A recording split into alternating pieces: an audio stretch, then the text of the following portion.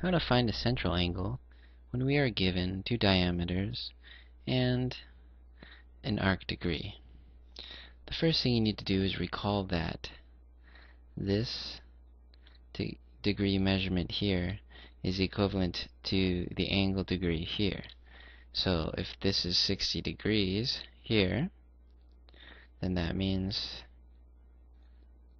this angle here is 60 degrees. Now if you notice, this angle and this angle lie along this same line segment here of CA. Therefore, these two angles are supplementary. So now we can solve for BOA by subtracting what we know from 180 degrees. So BOA is 180 degrees minus 60 degrees. That gives us BOA being equal to 120 degrees, and that completes our problem.